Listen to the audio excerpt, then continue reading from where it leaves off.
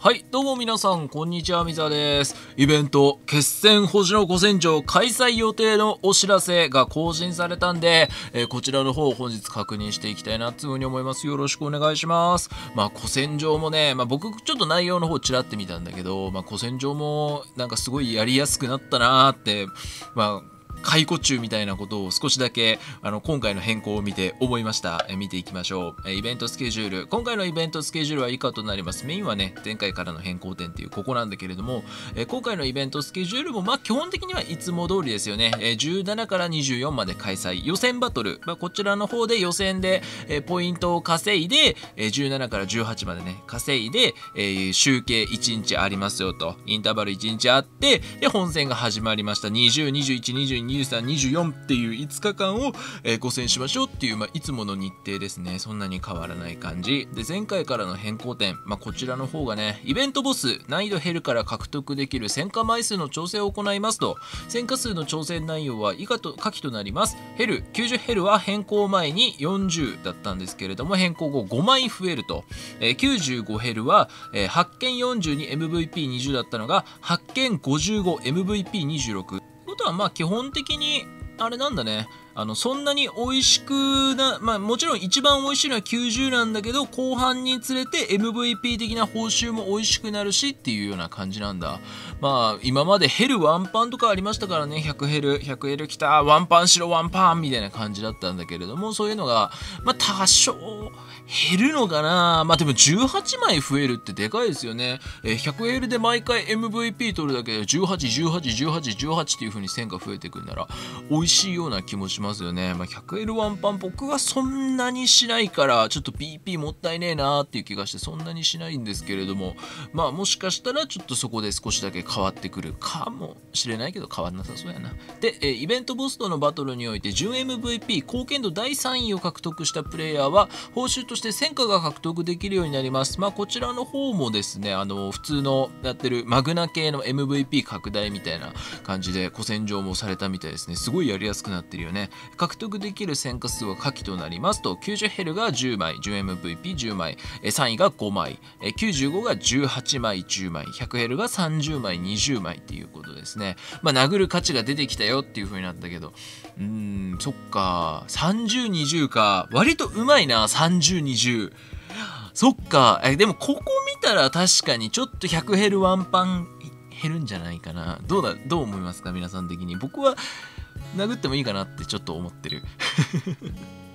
まあどうかはわからない。結局なんか古戦場もね、あの参戦するマルチ数に限りがあるって考えたら僕はちょっとこれならまあ殴ってもええかみたいな HP によってはみたいな気分になってはいたりしますね。はい次。戦火ガチャの自動売却機能の装備対象を拡大いたしました。現状のノーマル武器、ノーマル召喚石に加ええー、今回自動売却設定で拡大された火器装備。まあここら辺悪縁武器とかも売れるようになりましたよっていう風になったけど、これってルピになってるよね。これもうルピにならなくなったのかな？ルペになったらプレボが100個しか受け取れないから全然邪魔っていう話を再三してるんだけどルピになってたら切れるわ。ルピになったらガチで切れるんでよろしくお願いします。戦火ガチャにおいてボックスの中身を全て引く機能を追加いたします。最高。戦火ガチャボックス5箱目以降でボックス内のアイテムを全て引くことができる戦火数を所持している場合ボックスの中身を全て引くボタンが表示され全てのアイテムを引くことが可能となります。最後。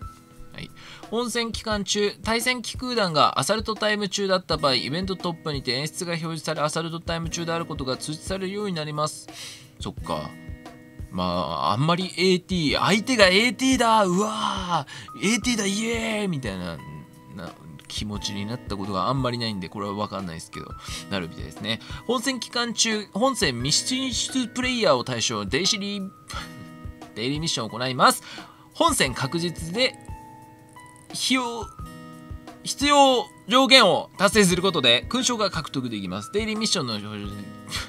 今日やばいね。以下となります。えー、まあ、デイリーミッション、あの、本戦に出場できなかった人が当日貢献度ピーを稼ぐと、獲得勲章5個とかもらえますよっていう、やったーっていう感じですね。勲章を稼げるタイミングが、えー、本戦を未出場の人でもつまりソロ団、えー、気空団に入るのが分かんない入り方分かんないよっていう人でももらえるようになりますよっていうような話なんですがな。一部期間を除きイベント開催中の役職変更が可能となります。まあこういうのもあってイベントボスから獲得できるランクポイントと EXP について個人の獲得上限値を引き上げます。なんかイベントボス、えー、ヘルヘルですよね。なんか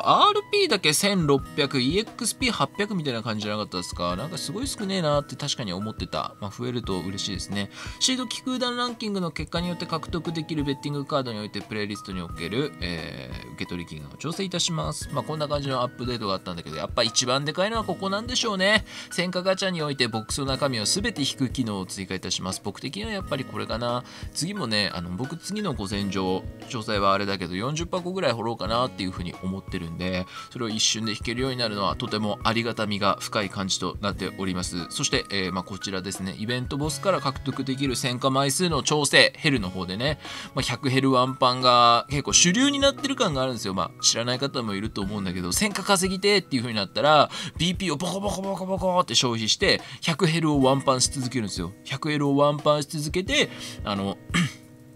戦果戦果枚数を稼いでガチャを回すっていう人も結構いたんですよね。まあ、そういうのが、まあ、これのヘル準 MVP3 位で獲得できる戦果の枚数によってどんな風に変わってくるのかっていうのは個人的にちょっと興味がある。どうなるかは分かんないからね、ちょっと興味があるなっていう風に思いました。ということで、えー、古戦場前回からの変更点でございました。うん、古戦場ついに来るんやなっていう感じなので楽しみにしていきたいなと思います。それじゃあまたお会いしましょう。じゃあね。バイ。